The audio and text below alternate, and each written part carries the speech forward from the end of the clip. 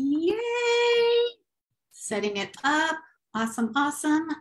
Welcome, everybody. I am so excited to share this interview with Dawn and Tamara all about their series. Setting it up. Awesome, awesome. I knew this. Welcome, everybody. I am This is so just excited. Hang on. And Tamara, Hang on, let me find all about their series, setting it me. Awesome, awesome. I knew this. welcome, everybody. I'm all about their series, I setting like it me. up. Awesome, awesome. I knew this. Welcome, everybody. I am all about their series, setting it up. Is that our Facebooks because they're open, I think? So mine's closed now. Yep, mine is too. Okay, Okay. great. That was quite funny. That was You had three echoes. It was brilliant. all right. Well, here we are.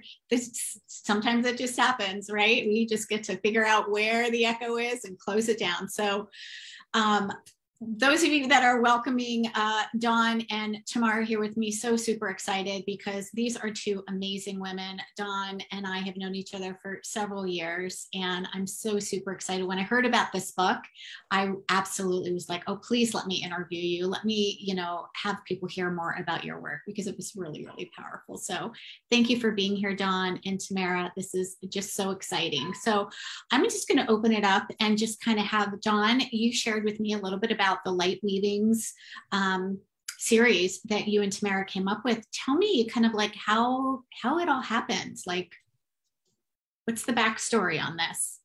Well, first of all, it's an honor to be here on your platform, Chris, because I have been a fan of yours for quite some time. And um, it's an honor to be here and to talk to your beautiful people um, about our new creation. And um, so Tam and I um, met in um, a, a coaching group is because she's also a coach. She's a, a very nurturing, loving, kind human being, and I can't wait for you all to hear from her.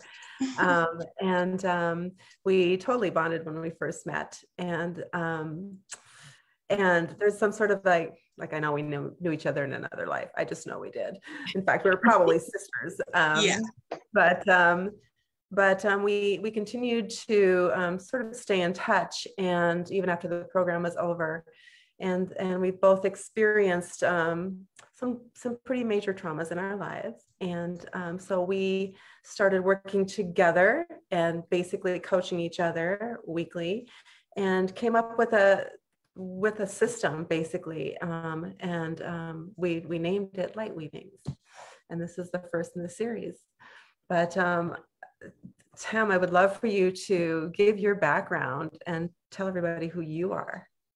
Right. Um, so I'm similar to Dawn. I'm, you know, I'm, I'll be 54 next month and I've had the corporate career and and did the the management in different fields and um always found myself kind of mentoring and and helping people and kind of being that person people went to with problems and had some pretty life shaking moments around the time I was turning 50 and just wanted more wanted to be more authentic wanted to find my purpose what everyone talks about and I started the journey to be a health and life coach and that's how Dawn and I met and I think the big thing for Dawn and I was in all our conversations, we met weekly, and in all our conversations, we kept coming up with the same thing. Everyone tells you to let go. Everyone tells you to work through things and just let it go. And we're both like, how? and we started talking. We started talking about, well, what worked for you and what worked for me and what's something we can just really simplify and list the tools so that people can just follow along like a really simple instruction book. And that's what we created, I think. I love that. Yes, the how to's, right? Everybody says, you know, do, you know, the, this is the process. But when it comes to releasing and when it comes to letting go, there's a lot of questions on, well, out of all of the things, how do we actually do that? And, it, and it's scary. And, and shadow itself, kind of shadow work itself, kind of sounds scary.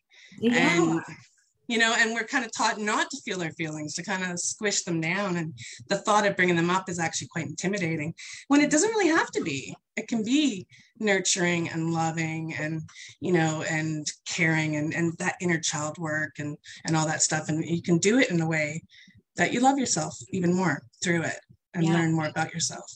Well, tell me more about shadow work for those that don't really understand what that is. Can you kind of share a little bit more about what is that? What is the process and why is it important? Yeah, shadow work does sound like a very scary and sort of daunting task because the word work is in there. Um, but really, um, what it is is recognizing those parts of us that um, really have been hurt um, for different reasons through our lifetime. And then realizing that they are part of us and that they want to be loved and nurtured and accepted as well. So even though um, trauma happens, usually most people experience some sort of trauma whether it be large or small in, in um, you know what people what our society would consider large or small it's still trauma and it affects our lives. And it affects how we feel about ourselves. Mm-hmm. and that is really key. So uh, working through those things that we want to release and ex- at the same time accept with that loving kindness um, doesn't mean that we have to relive a trauma. It just means that we recognize what it is and we say, we see you, we know you're there, and um, you know we're just going to upgrade our system and our, our how we think, um, and to and also when once we recognize that trauma or that piece that has hurt us in our life in one way or another. Um, it no longer is frightening. Mm-hmm. We recognize it and we're like, okay, I see you. I know you're there. You, you're not going to hurt me. You're just there. Right. Does that make sense? Oh, totally. Yeah. It's like in a dark room, you see the shadows on the wall that seem so big, and you turn on the light and you realize, oh, okay. Like it's, it's once you actually really look at it, it's not as big and as frightening as when it is when we're actually just trying to repress it and push it down and not look at it and don't look at it and mm-hmm. don't see it and yeah. Yeah and, and that key there is the repressing. I think especially when we're children and small children um, a lot of these little traumas happen when we're trying to conform and trying to fit in and try to be like everyone else. Or we get reprimanded for something or something scary happens like your parents late like, picking up from school and there's all these little things and when we tamp them down and repress them and ignore them, they actually gain strength and they're running in the background in our subconscious because our conscious doesn't want to know about it. So it's running in the background and it's controlling so much of our lives and we don't realize it. And it's coming out again and again and all the lessons that are getting chucked at us and and the behaviors and, and the, the lower feelings like the rage and jealousy and our reactions to things like what people like to call triggers now. Um, and that's all kind of played by that shadow self. And I think if we want to live real, authentic lives, we have to embrace all of us, shine the light on all those bits we don't necessarily want to recognize and see, and do the work. And like Dawn said, feel the feelings, but don't identify with them. Right. Don't yeah. become them. Just yeah. work through the feelings and then thank them so that we can move forward and move on. It's beautiful work. It really is the best, best self love ever. I love that because then you get a choice, right? When we're never looking at it, I, I love how you said that that is happening in the subconscious because it, it really is. It's like, oh, well, if I don't look at it, then it won't bother me. But by not looking at it, it is actually running in the subconscious and it is directing your thoughts and your behaviors and your actions, and therefore what is happening in your life. And when you can actually look at it and do the work around feeling it and seeing it and accepting it, then you can release it and you can make new choices for how it is that you want to move forward with that. Mm-hmm.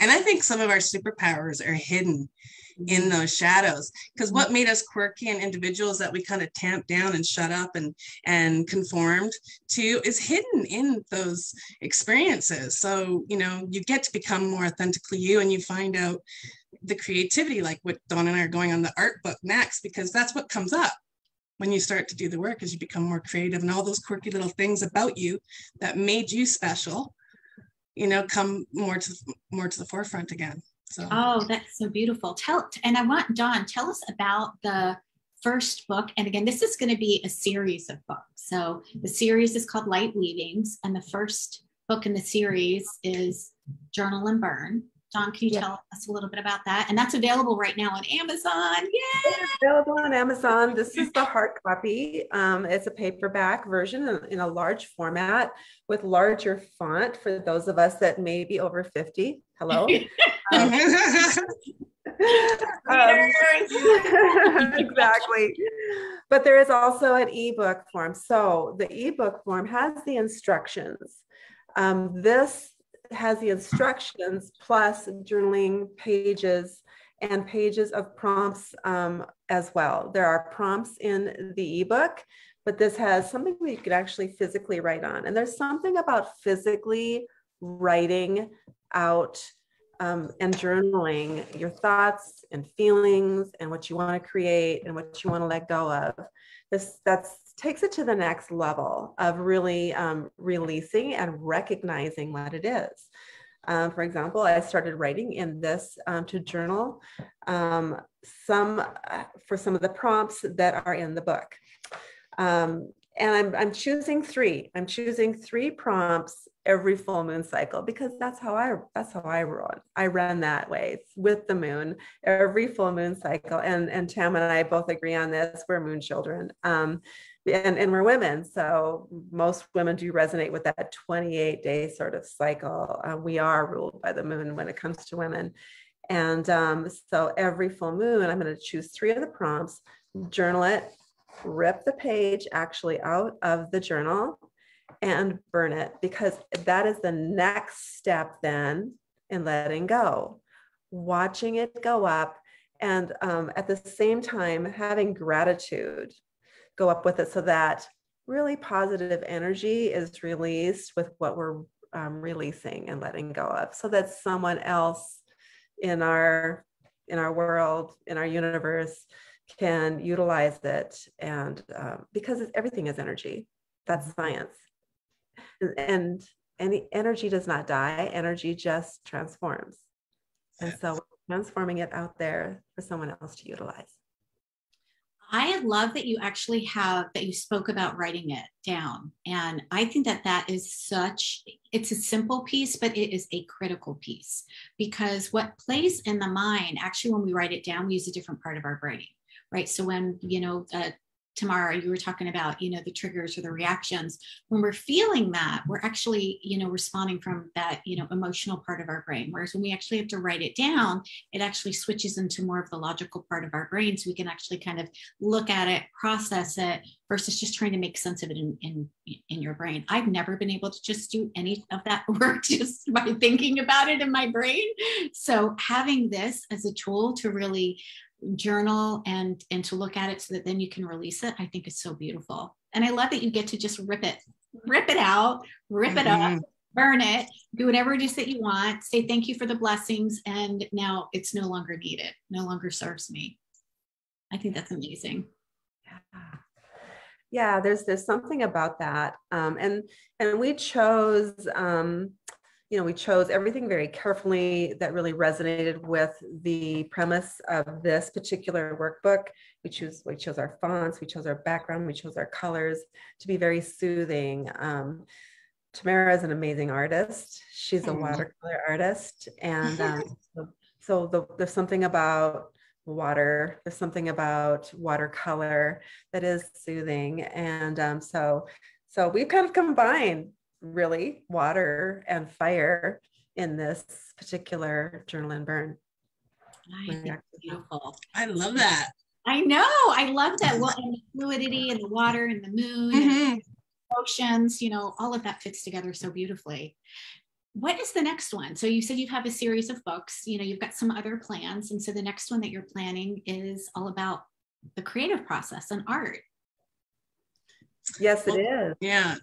I was just going to say, Dawn has an amazing story on where she went onto a retreat and it was and they used art to actually go through the entire process. When she explained it to me i said that is exactly the shadow work. It was the exact process of going through from putting up from awareness all the way down to putting down your thoughts and releasing it into something else and then letting it go again. It's it's beautiful and so that kind of is what we based um, an idea of doing an art a shadow art book on. So she's got to share it. It's just incredible. Yeah.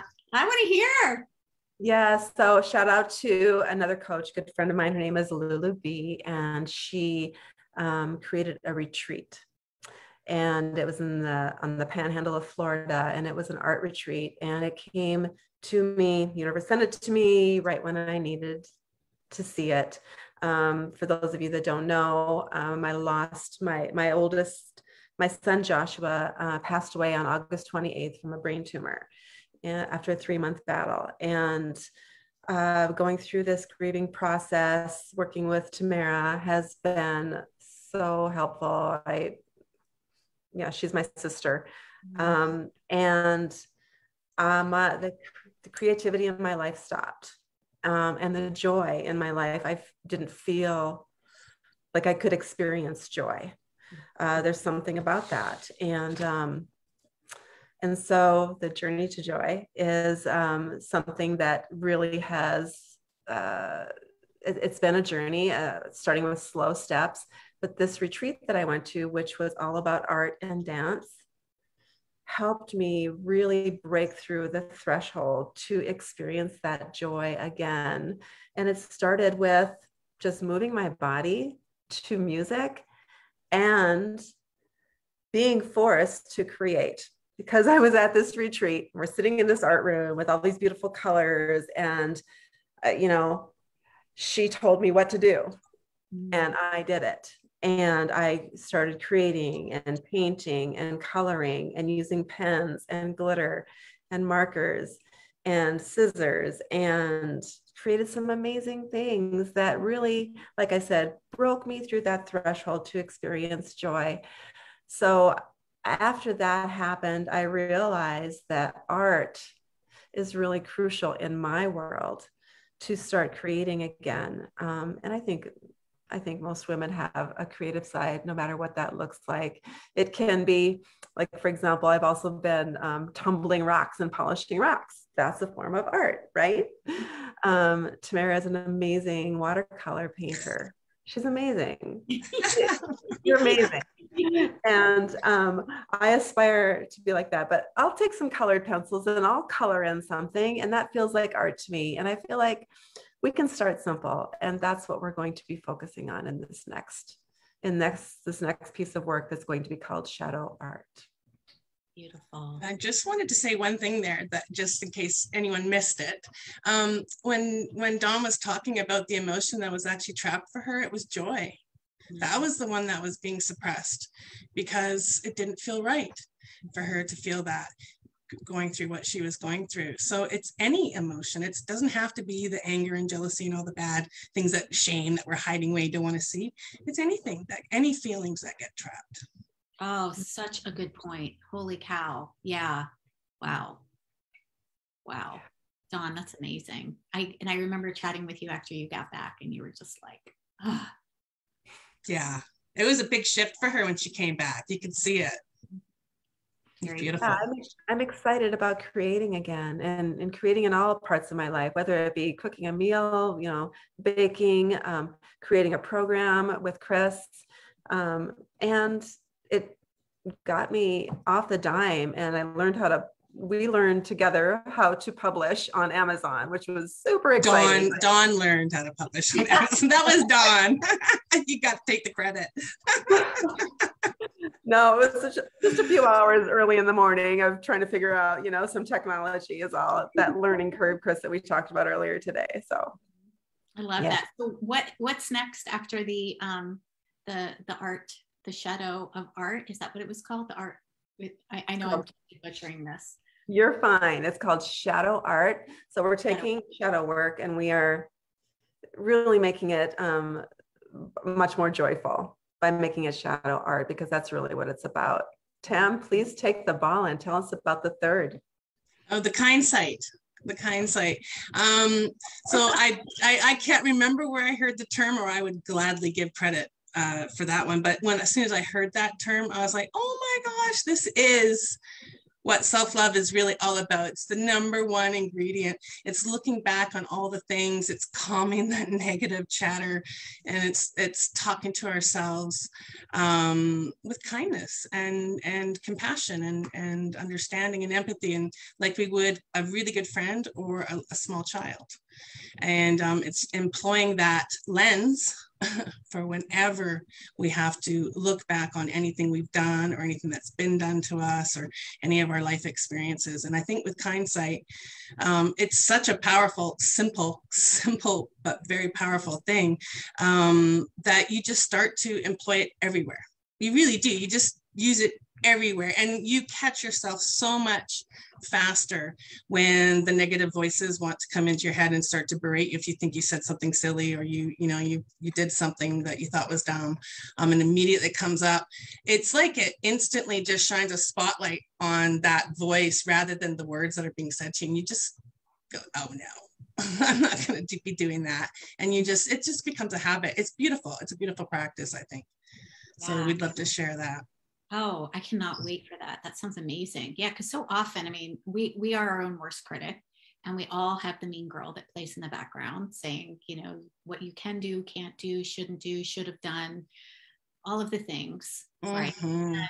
It's just not helpful. It's not who we truly are. It's just that small part that is scared or you know looking for ways you know not to not to mess up or not to lose some some sense of love safety security belonging. And i love that we can give it a short amount of attention but choose consciously choose that nope we're going to go in this direction. Yep i hear you. Yeah. i like to think about like um, you know driving the car. Like she doesn't get to drive the car right? Like that mean girl. Mm, that's a good one gets to ride in the trunk. yeah, totally. It's the spare tire. exactly. Um, and when we notice that she's driving the car, we're like, oh, oops, nope, you're not driving today. Sorry. And yeah. Just, yeah. And I love what you told us the other day in our in our class, Chris, which is give her a name. Give that mean girl a name. You know, mm. I've for mine, and I'm naming her. I'm calling her out from now on. She doesn't get drive the car. Yeah. I love that. No more Regina. Regina. Bye bye, yeah. Regina. Regina. oh, that's a good one. And I love the fact that you said um, that even the bad voice is out of love and out mm-hmm. of fear and out of protection, everything, because that's really the whole thing. It's really all of it is about love. Mm-hmm. And even the something as as horrible to yourself as as smoking or an eating disorder or something like that there's a moment there where you're trying to give yourself some love. Mm-hmm. and that i think that makes it easier to forgive. Yeah. It's because we were doing the best we could with what we had and you know and it's just it's easier to let go and that's all that's all about the kind sight too. It's not even really thinking about it as a bad voice. I guess I should even I should start reframing that. you know, yeah. The compassion that we give to that part of us, right? The compassion. Like that mm-hmm. that part of us had a reason. It's just once again time to upgrade. Mm-hmm. Time to upgrade. Yeah. I love that. Yep. Upgrade that operating system. Oh, so good. You guys, this is so exciting so so exciting and so needed. And i'd love that you're you know you've broken it down into these you know three different you know booklets so far you know the journal and burn and then oh my gosh i'm gonna mess up the shadow art again yeah shadow art it's perfect and then the Kindsight i am all about Kindsight. i think i'm gonna write that on a sticky note and put it up on my yeah excellent that word so fun. we should make bumper stickers wear the t-shirts. Totally. Where's my Cricut? this is so fun. Oh my goodness. So how can people get their hands on this? You said Amazon. So, and I will pop back in here or Dawn and Tamara you guys can also pop in and just maybe put the link inside of the chat inside of Facebook. So, you know, people can find you a lot easier. So it's on Amazon and we'll provide the link. Any, how else can they get in touch with you? Dawn, I know you've got a community Tamara, do you have a community? How, how else can people get in touch? Yeah, I mean, I'm on Instagram for the most part. I, I I do a lot of personal stuff on Facebook, but it's Instagram where most people find me, and it's just my name on Instagram. It's at the back of the book. It's just Tamara Langford on Instagram there, and um, so that's where most of what I do is on there. Um, I haven't had a huge online presence in this last year. It's it's thanks to Dawn I'm back out because I I was really, really hardcore focusing on my family um, this year. So, and it, but it was well past time that I start to focus back on my business. And I, I have Dawn to thank for really nudging me out there and just getting it done. So well, it's great. It's been excellent having coaching every week with Dawn. it's like accountability, right? We, we move so much further, so much more quickly when we've got support. Yep. Yeah. And we've done a lot of very hard work together. Mm-hmm. We've shed some tears, but we've also laughed a lot. And I'll tell you what, laughter and having that person that you feel safe with is yeah. um, super important. So, um, and that's what we both try to provide um, for our clients as well. It's not just heavy stuff, it's also light and celebration. And really, you know, we talk about what's going well all the time. Um, but also, we, um, I wanted to mention that another way to reach us is that we actually have um, an Instagram page for Light Weavings. It's at Light Weavings. It's L I G H T W E A V I N G S, one word, at Light Weavings. So you can see us there. We've created a community. Beautiful. Actually, how did you come up with light weavings? Like you guys have got the best names, like so good. Well, I, do we remember, Dawn? Do we remember? Yes. Um, another. She's our memory. another amazing coach, and she's actually Amber Ingram. Um, we were in her coaching group together. Um, had a session, one-on-one session with me, and um, she came up with a name for me. We we came up with it together um, after sort of interviewing me and how I see myself and influencing the world. She said that I'm a light weaver, and so oh, we talked it. about that together, the two of us. That you know that's what these are are light weavings that we can infuse light and sort of weave it in through the world. And so that people can get a glimpse of that light and and jump in and join us. Beautiful. Love it. Cool. so it is so so perfect. It really is perfect for what you both are doing. Yeah. Dawn how can they find you? Where are you uh, I have a, a group. Um, my name is Dawn Jenyce, J E N Y C E. That is my personal name on my personal page. That's my first and middle name. It's also the name of my business. Um, I have a group on Facebook that is Authentic Living for Brave Female Leaders. And if you'd like to join, you can go to my personal page. There is on my cover. Um, you can just hit the button and there's the link to get on that page. You have to answer a few questions to get in, but they're pretty simple. Amazing. So fun. Awesome. Ladies, thank you so much for being here and sharing this powerful work. I cannot wait for more people to experience it. Is there anything else that you guys wanted to add or share about? Is there only three or are there going to be more? Stay tuned. We're working. Yes. we'll You're never going to get rid of us. I'm just saying. yeah. Thank you so much, Chris. We really appreciate you having us on and supporting us. Oh my gosh, I am really so appreciate excited. it. I am so excited to share you and your your books and the journal and burn and all of the amazing things that are going to come out of light weavings. I just think it's so incredibly powerful and and thank you for sharing it. Thank you for being willing and courageous to show up live and and to share this. It's our honor. Awesome. So Thank much. You. Awesome. Bye everybody. Have a great day.